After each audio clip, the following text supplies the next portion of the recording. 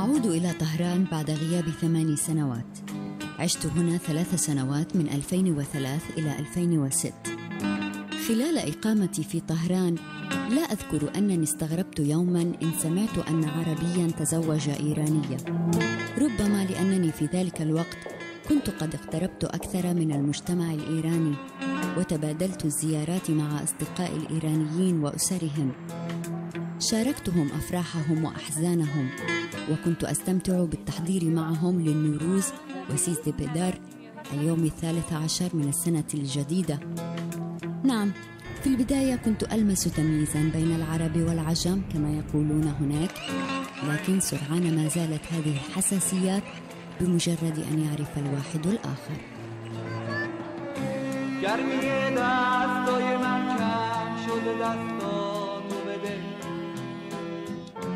دستای سرد منو گرم بکن باد پاییز سرده آفتاب تنبل پاییز دیگه قلبش سرده بازی ابر با خورشید منو آروم کرده طبعا انا شفت اعمالها يعني صورها كثير عجبتني. طبعا عادة آه، الصور بتدل على شخصية ال- المصور.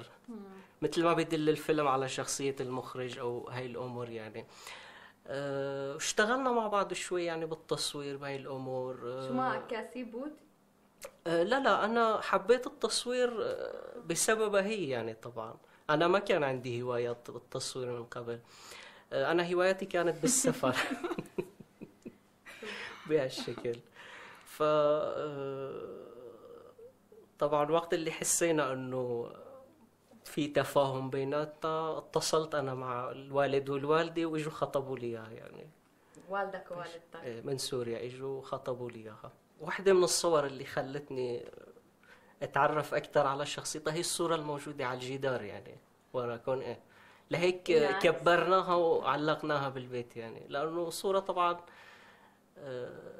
هي بتحب اللون ال- الترابي الخاكي مثل ما بيقولوا وانا بحب اللون الازرق فهي الصورة طبعا ما بتمثل نوع من التفاهم بيناتنا يعني نوع من اللقاء بيني وبينها. شاید میشه گفت این عکس رو خیلی اتفاقی پیش اومد چون من تو زمستون بود رفته بودم خوانسار.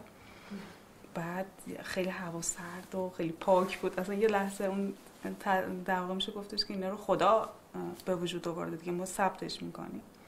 یه لحظه اون طبیعتش که دیدم جذب شدم. خواستم که عکسش حتما داشته باشم. ای که نامت در زمانه گشته در خوبی فسانه. کرده اینک در دل من. آتش عشق تو خانه. سخت بود. شما اه، مرد عربی سخت بود؟ من که پدرم فوت شدم. مسلمه که خب مادرم تصمیم گیرنده بودن. بعد ایشون خب خیلی نگران بودن که حالا مثلا من بخوام با یه فرد خارجی ازدواج کنم چه اتفاقاتی میفته ولی خب به مرور زمان که ایشون رو دیدن و آشنا شدن باهاشون خودشون در واقع دریافت کردن که حالا این اه، آقا شادی خیلی پشت کار داره فرق می‌کنه. به حال واقعا میشه گفت دوست داشتن تو وجودشون دیدن. بعد خب بازم یه مقدار سخت بود واسهشون بپذیرن. ولی وقتی دیدن که دیگه منم خیلی خواهان این مسئله هستم دیگه راضی شدم.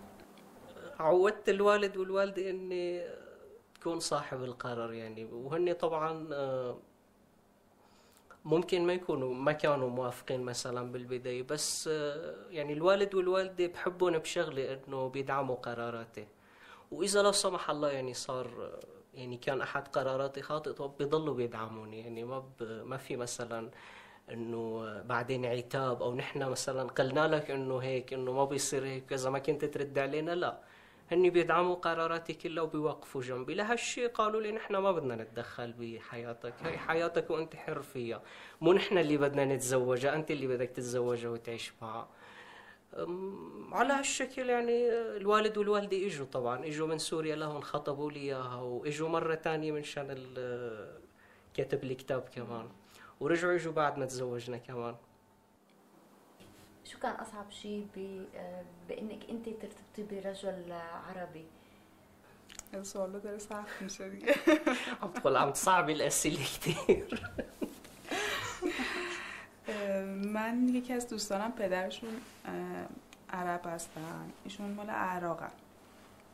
بعد قبل از اینکه اصلا ما تصمیم جدی بشه خب ایشون خیلی به من میگفتش که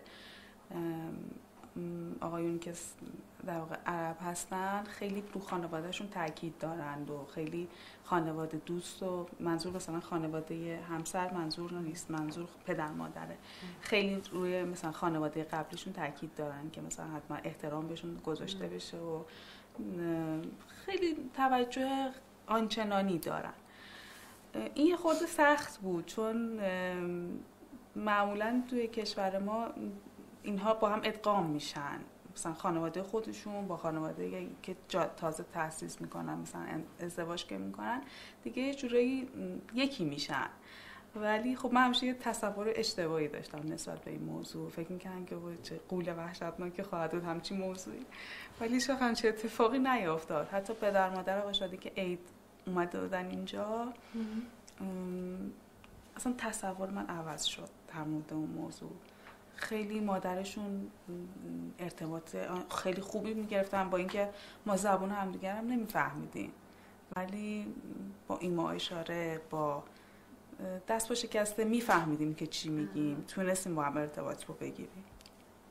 ایشون که تصمیمی که گرفتن با ما ازدواج کنن خب به حال یه تصمیم خیلی بزرگ بود خانوادهشون رو یه جورایی مجبور شدن رها کنن و میشه من ارزش این جنس رو این حرکتشون هیچ وقت فراموش نمی‌کنم همیشه درک می‌کنم که چقدر واسش ارزش داشتم که این کار کرده برای من. تقول انه طبعا قراري باني اعيش معه هون واترك اهلي قرار كبير كان وهي بتحترمه كثير وبتقدره وكثير بيعني لها الشيء يعني بيثبت لها اني بحبها طبعا يعني درست؟ طبعا بحبها كثير يعني. وموضوع ال- الأسرة أبدا ما له عائق أمام الزواج يعني. وطالما يعني في زيارات الأهل عم يجوا لهون وأنا بسافر على سوريا فما في أي مشكلة طبعا يعني. حتى عم تقول يعني إنه والدتها بتحبني أكثر منها يعني. العكس ما بيقولوا عنا بالدول العربية الحما وما وما بعرف شو هالأمور كلها يعني. بس طبعا آه، والدتها كتير حنونة يعني. طبعا أنا والدتي مو موجودة فهي والدتي الثانية هون. لهيك آه، يعني بحبها كتير طبعا بحبها مثل أمي.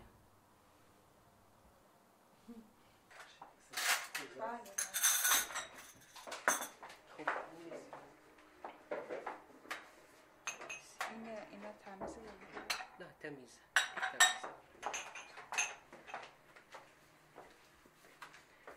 شو كده خيلي كمان أنا- خ- خانمها إيراني آه، يعني معروفات بأنه هن قويات. مسيطرات. مو أقوى من الرجل العربي مزبوط جدي لا لا. شخصية الأنثى الإيرانية قوية بس طبعا هذا ما بيعني إنه بتاخذ دور الرجل يعني وأنا ما شفت هالشيء أبدا. بس طبعا شفت شخصية قوية عجبتني كتير و...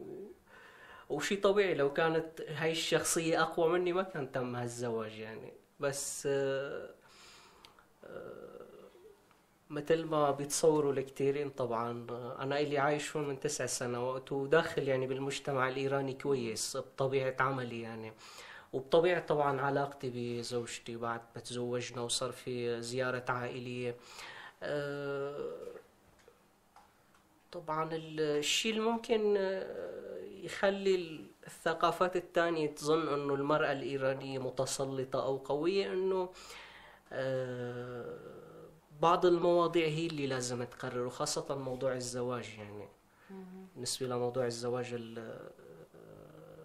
ال- الرجل مثلا ابن مع أو بنت مثلا مع شخص ثاني. طبعا يعني ال- الأم إلى رأي إلى جزء من الرأي طبعا مو مثلا الرأي ال- ال- بشكل كامل مو للابن أو للأب بشكل كامل أو للبنت بشكل كامل. لا طبعا في ال- الأب والأم بيتقاسموا القرار يعني بهالشيء طبعا مع مع صاحب العلاقة يعني أو مع البنت أو الابن. ممكن هالشيء يخلي بعض الناس يفكروا إنه إيه والله المرأة الإيرانية كتير متسلطة كتير قوية كتير آه، آه، مثل ما يقولوا مثل ما قال أحد الأصدقاء عنيفة. يعني بس طبعا ما شفت هالشيء أنا ما شفت في عنف بالموضوع. وهي الأمور آه، السلبية موجودة بأي مجتمع يعني. إنه إذا كان في أمور سلبية فهي موجودة بأي مجتمع وبأي دولة يعني مو بس بإيران يعني. فلا أبدا ما ما في هيك شيء طبعا ال- ال- المرأة الإيرانية بتشتغل بتشتغل بقوة يعني وشاطرة بالإدارة طبعا يعني. أنا هذا اللي اكتشفته خلال هالسنين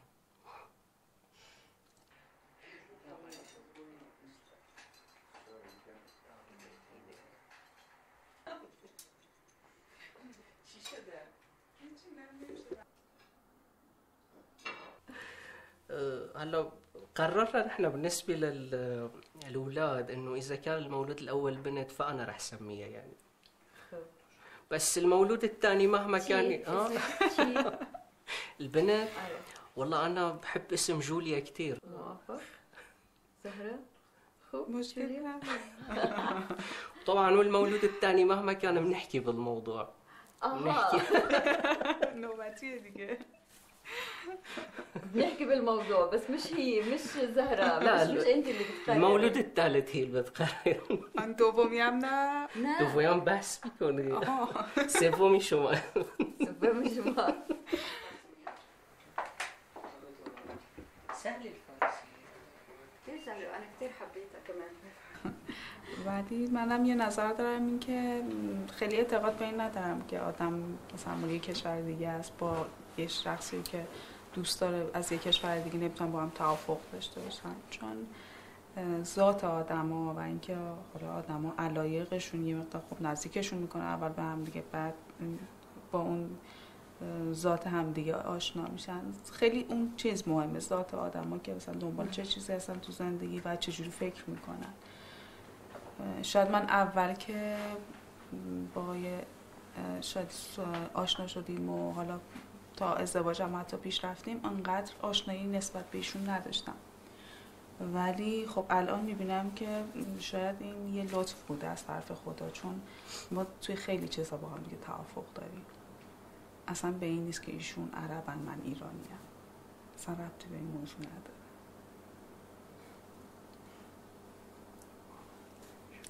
أفضلك ميرسي طبعا شكرا إلى على الكلام الحلو. حاسس إنه هذا لطف من الله يعني إنه تزوجنا لأنه في نقاط مشتركة كتير بيناتنا والحمد لله في تفاهم يعني. في تفاهم و... وفي حب طبعا الحمد لله. عكسه خلي بستوعب شو؟ لا يمكن يشوف بك شو في الا هيك أنا اكتب لها الصورة جنب ينعكسوا خلي بستوعب بوسیدن شو صورتك المفضلة من هذا الألبوم؟ الصورة آه، أنا بحب كتير هاي الصورة. أها. هلا. طبعا هاي الصورة ما بتدل على إنه هي متحكمة فيني لا تفهموني غلط يعني. إن إحساس بكون يعني بحس إنه عم تقول لي أنت إلي بس بهالشكل. لهيك أنا بحبها كتير لها شما کدوم عکس؟ شما کدوم عکس بیشتر دوست داری؟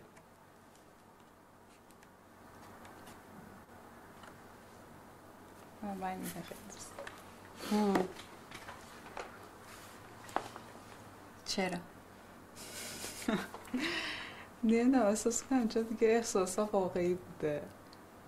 هم بوسیدن آشادی هم حس من واقعی بوده. چون عکس معمولا ژست میدن میگن مثلا اینطوری وایسا این حرکت رو بکن. ولی من خودم عکسایی که همه واقعیت توش وجود داره. یعنی فیلم توش نیست نقش بازی کردن توش نیست و دوست دارم. شكرا جزيلا ان شاء الله المره الجايه انا باخذ هاي الصور بنزلكم اياها شكرا جزيلا شكرا جزيلا خانم ميرسي خیلی خوش آمدید اهلا وسهلا تشرفنا ميرسي وشكرا جزيلا على هاللقاء بتسلم ولا ما بتسلم؟ انا ما عندي مشكله احنا طبعا خوشترین ایام عمرم لحظه های با تو بودن